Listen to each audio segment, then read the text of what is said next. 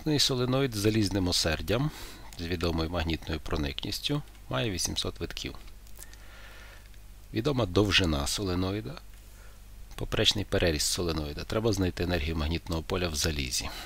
В залізі, тобто в осерді.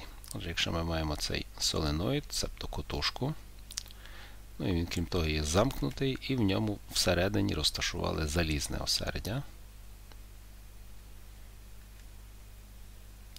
З певною магнітною проникністю μ. Ця величина μ дорівнює 1240. N кількість витків дорівнює 800. Довжина соленоїда L дорівнює 1 метр. Поперечний переріз S 10, але тепер сантиметр квадратний це 10 мінус другому до квадрату на 10 мінус четвертому метра квадратного. Струм нам відомий, струм, який протікає по обмотці. Якось би його теж здалося позначити 1 ампер. І знайти треба енергію магнітного поля.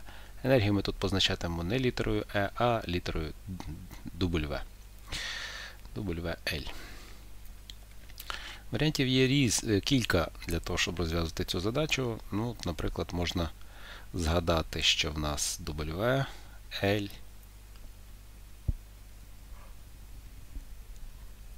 квадратично залежить від сили струму, а сила струму у нас якраз задана. То нам фактично треба знайти індуктивність. Індуктивність соленоїда для неї є окрема формула. Від чого може залежати індуктивність соленоїда? Зрозуміло, що від матеріалу провідника. Це без сум. Е, перепрошую, не, не провідника, а власне соленоїда.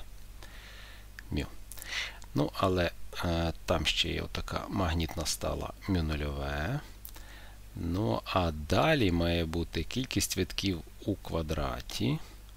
Помножити на L, довжину соленоїда, помножити на S, площу поперечного перерізу. Якщо придивитися акуратно, то далі вже зовсім не цікаво. Далі можна всього лише підставити значення. І ця задача повинна привчити нас звертати увагу на феромагнітні матеріали.